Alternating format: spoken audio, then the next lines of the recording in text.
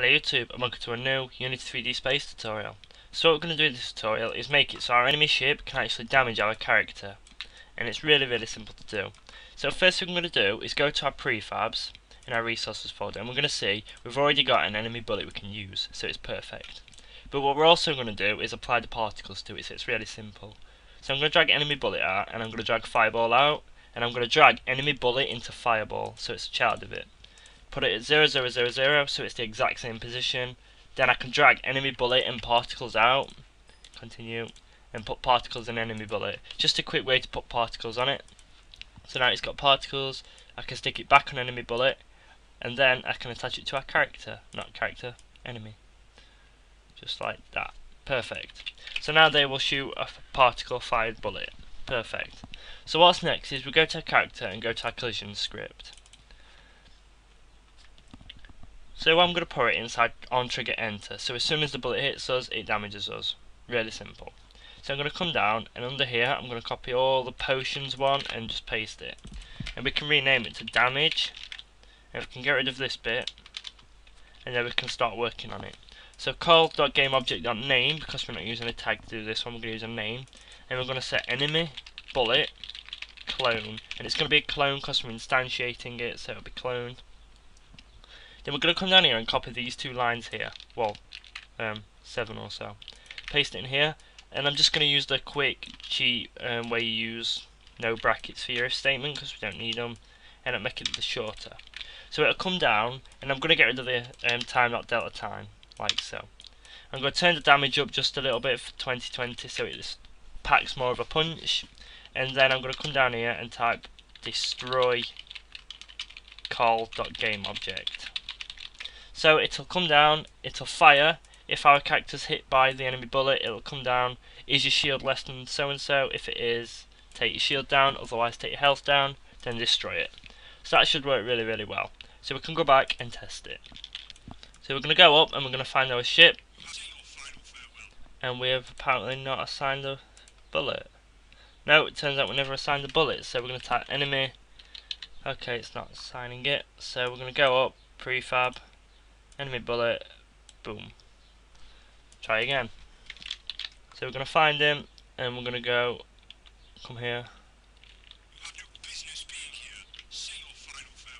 So as you can see, it's dramatically taking our health down. Now if you, just compose that, if you kept the Time.deltaTime on, I still think that looks weird but okay. Um, then it'll so it'll take it down every second so it'll instead of going 50 50 50 50 while it hits you it doesn't. It goes 0.50 for seconds because it times it by second. It's just really weird. You can test it if you like but I'm going to keep it like that. So it really damages you. Another cool thing what we're going to do is just clone a couple more ships and get some more out there.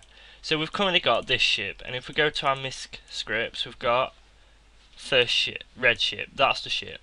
Okay, so we're going to duplicate it and we're going to drag it all the way across here. And do we have...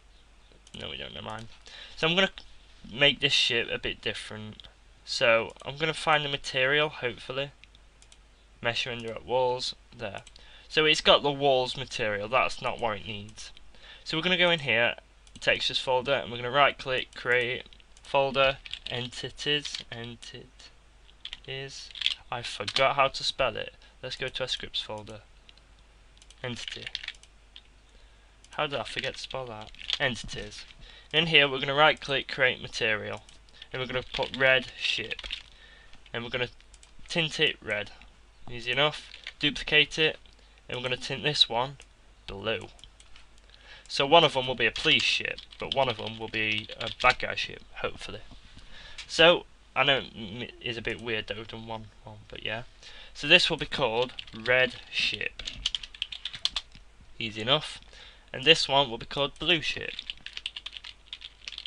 Like so. So we're going to zoom in on Blue Ship and we'll attach Blue Ship to it. Just like that. Find Red Ship and tint it red. Perfect, so we've now got two different ships. Yes, they will both fly to the same points, but what about if we extended those points? So, we're going to create a new empty game object and we'll just put it 000. Boom, boom, boom. And we'll assign this called entities. Entity then. And we'll put red ship and blue ship in there. I'm going to keep our character out of it because our character is kind of our main property. So, we've got a blue ship. He's got red ship waypoints, but why don't we add some blue ship waypoints? So instead of planet manhunt, this blue ship can be a large patrol ship kind of thing. So we can find whatever planet this is called, red ship patrol here, and we can duplicate it and stick it out. We'll call this one blue ship patrol. So, we've got it. So we've got, copy this and we'll just rename all these down here. So, we've placed it, so the first place I want that to go is the same point, that's okay. But number two, I want it to fly all the way over to this planet here. Just randomly fly over. Then number three, I want it to fly over here, just a little bit. Four, a bit over here. Five, I want it to head back. But then six, I want it to come all the way down to this planet and then 7 over here 8 over here 9 to come back over to this planet here to around here and then it'll go to number 1 again and then carry on. So this blue ship's got a real path on it but we need to create a class for it at the moment because it hasn't got one. So we're going to call it ID2 just because it's going to be ID2 this time. And we, we do have to assign the blue ship patrol points soon but not yet. So we're going to go to our character, misc scripts, and I'm going to add a new one today. So ship starts, duplicate this one and make it bracket. It's going to keep all the same properties as red ship just for now because I don't have any more, but then we will change it. So, blue ship is its name, don't argue, it's just called blue ship. Top speed it'll be around 10, so this is a fast ship, but the health is only 25, so it makes up for it in health it's going to have roughly no shield at all because I don't want it to have a shield. And the respect for the player is 50-50 is like nah I don't really care. So we can save it we can come back out and re I'm not I don't want to refresh this but we'll put number 3 and we've got this one. So if we refresh we still haven't made the automatic thing so I'm just going to literally call this what we did the reason we can't refresh it at the top by going this and then reset is because then we'd have to assign all the audio. I've st I'm still work I've still got to actually do the tutorial to assign it automatically. Um, it's a bit long to do it this time. So top speed was 5, health 25, shield 10, and respect for player 50. That'll do. So the blue ship's done. So that should fly away. The only thing we have got to do is assign it to the blue ship patrol points, then we're done. So we'll come up here, so I'll assign all these and I'll speed it up, so I'll be back in a minute.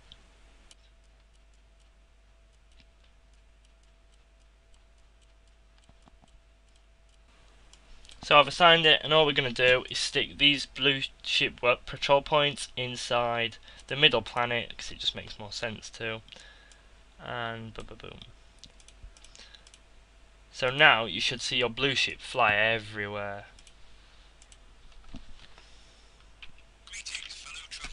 Oh, he found us. So we'll fly away. Carry on your path. So you see he's going for it. And if we are coming to misc stats, we can speed him up a little bit. So I'll give him 50. Let's see, he'll go. Speed him up even more, so 500. And you'll see, he's gone out of view, he's completely gone, but he will circle back and come back.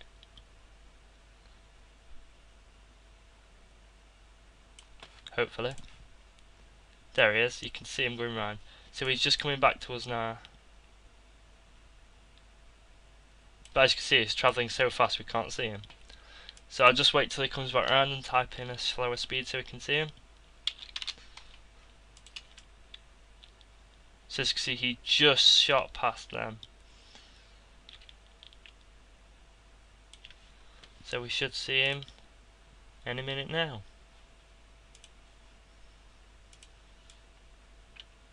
There he is. You can see him coming along and he shoots off.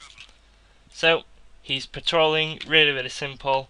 Um, next tutorial probably will do the automatic assigning, it's a lot easier, but it makes longer loading screens, your choice. Thank you for watching and I'll see you next time.